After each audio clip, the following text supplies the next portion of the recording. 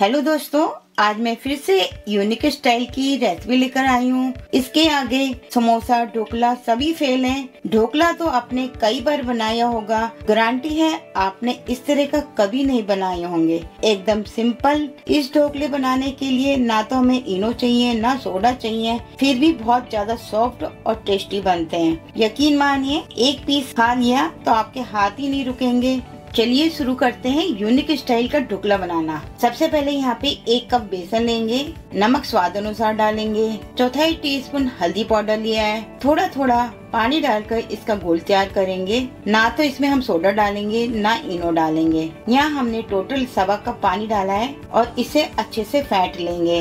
अब यहाँ पर मैं एक चम्मच तेल डाल रही हूँ। जिससे कि बेसन हमारा अच्छे से सॉफ्ट हो जाए, क्योंकि इसमें हमने इनो, सोडो कुछ भी नहीं डाला है। अच्छे से फेंट कर इसको हम साइड में रख देंगे। तो ऐसे में गिरा रही हूँ तो आप देख सकते हैं, इस तरह से रिबन की तरह गिरना चाहिए। तो गोल का आप ध्यान रख सकते हैं, थोड़ा पतला भी कर सकते हैं। अब यहाँ पे हमने पाँच मीडियम साइज़ के आलू लिए थे। ये उबले हुए थे।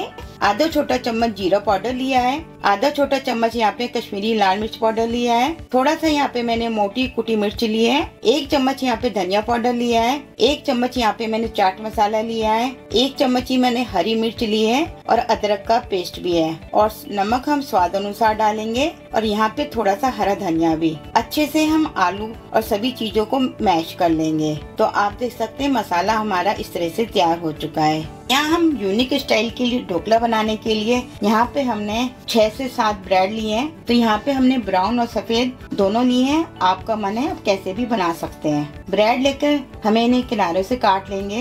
तो यहाँ हम सभी ब्रेडों को काट लेते हैं। यहाँ हमने सभी ब्रेड को काट लिया है। अब बेलन की सहायता से ब्रेड को बेल लेंगे अच्छी तरह से। तो यहाँ पे हमने सभी को बेल लिया इस तरह से।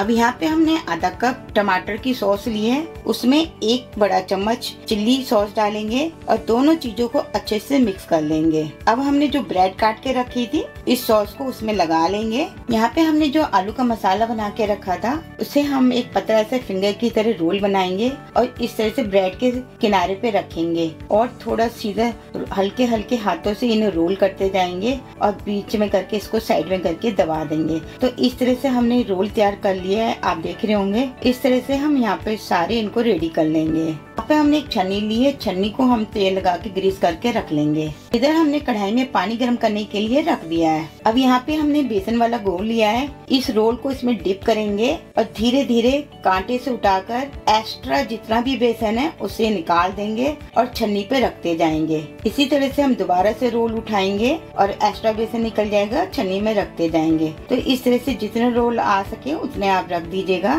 फिर इन्हें ढककर सिर्फ़ पाँच से छह मिनट पकाना है। बहुत ही जल्दी ये स्टीम हो जाते हैं। तो यहाँ हमने इसको ढक दिया है। तो यहाँ हम देख लेते हैं, छह मिनट हो चुके हैं। बहुत ही बढ़िया हमारे ढोकले तैयार हुए हैं। अब मैं इसको चेक कर लेती हूँ। यहाँ मैंने एक दूध पिक ली है। इसको हम डाल देते हैं। तो आप देख रहे होंगे, बिल्कुल क्लीन निकली है, बिल्कुल भी चपक नहीं रही है। इस तरह से हम सभी ढोकलों को तैयार कर लेंगे। अब यहाँ पे हम गैस को बंद कर देते हैं और इन ढोकलों को अच्छी तरह से ठंडा कर लेंगे। यहाँ पे ढोकला छन्नी में ठंडा हो चुका है। इसको मैं निकालने का तरीका बताती हूँ। वैसे तो ये हाथ से छुटाओ, आराम से निकल जाता है। अगर आपका चुपक रहा है तो एक पलटे की सहायता से हल्का सा ऐसे करेंगे तो निकल जाएँगे। इस तरह से मैं सारी ढोकले को निकाल लूँगी। अब यहाँ पे हमने जो ब्रेड ढोकला बनाया है इस तरह से गोल गोल पीस में काट लेंगे। तो यहाँ पे हमने सभी पीसों को काट लिया है। यहाँ पे सारे ढोकला रोल बन के तैयार हो चुके हैं। आप देख सकते हैं कितना बढ़िया लग रहे हैं। और हमने एक कप बेसन में दो किलो ढोकला बन के तैयार हुआ है। ये अब इसमें तड़का लगा लेते हैं। सबसे पहले मैंने यहाँ पे एक पैन लिया है। एक चम्मच तेल डालेंगे और एक चम्मच यहाँ पे मैंने राई के दाने लिए हैं। आप सरसों के दाने भी डाल सकते हैं। कुछ करी पत्ते लिए हैं, हरी मिर्च लिए हैं, सभी ढोकलों को इसमें डाल के हम फ्राई कर लेंगे। जितना आप के आ सके उतने फ्राई कर लीजिएगा। ऊपर से थोड़ा हरा धनिया डालेंगे और इस तरह से अलटते पलटते थोड़ा सा सेक लेंगे। तो आप देख सकते हैं, बहुत ही यूनिक स्टाइल में ढोकला बन के तैयार हो चुके हैं। बहुत ही ज़्यादा टेस्टी बने हैं। अब गैस को बंद कर देते हैं और एक प्लेट में सर्व कर लेते हैं। देखा दोस्तों, बहुत ही यूनिक स्टाइल की रेसिपी है ना? बहुत ही ज़्यादा टेस्टी बनते हैं और आप लोगों को ज़रूर पसंद आएगा। जितना देखने में सुंदर लग रहा है, उतना ही खाने में बहुत ज़्यादा टेस्टी है। एक बार खाएँगे तो उठाते उठाते आपके हाथ ही नहीं रुकेंगे। वीडियो पसंद आए तो लाइक शेयर करना ना भूलिएगा। अगली वीडियो में फिर मिलते हैं। Bye bye